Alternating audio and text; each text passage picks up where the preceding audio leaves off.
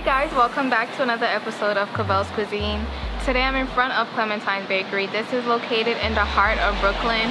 I'm here to pick up a cake for my birthday. Um, this is a place that you can find any type of vegan treat that you're looking for. Get cakes, cupcakes, cookies. You could even come inside and have a seat for lunch if you want to. It's a very cute and quaint place. Very beautiful. I've been here before. So this is my first time getting the cake from there and I'm excited to see how it's gonna turn out. Let's see.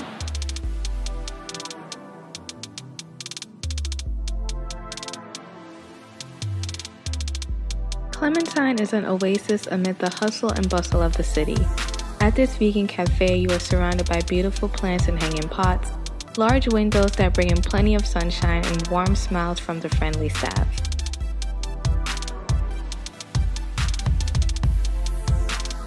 On their website, you're able to order custom cakes and cupcakes.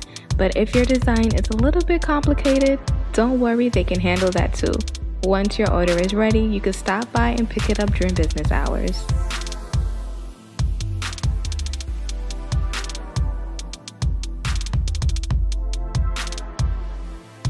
Okay, I got my cake. Unfortunately, they only had a really, really huge bag.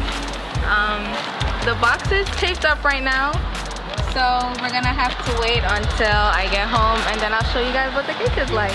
I'm sure it's gonna be amazing because their food is always good. I lived on my cake fantasy and I ordered a triple chocolate cake topped with strawberries and cookies. It was so good that I went and ordered a birthday cake for my best friend.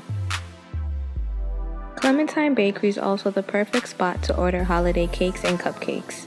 If you're throwing a holiday party at home or at work and you're looking for dairy free or gluten free options, Clementine Bakery is a place for you. And don't forget to tell them that Cavell's Cuisine sent you. Thanks for watching, and I'll see you next week Wednesday for a new episode of Cavell's Cuisine.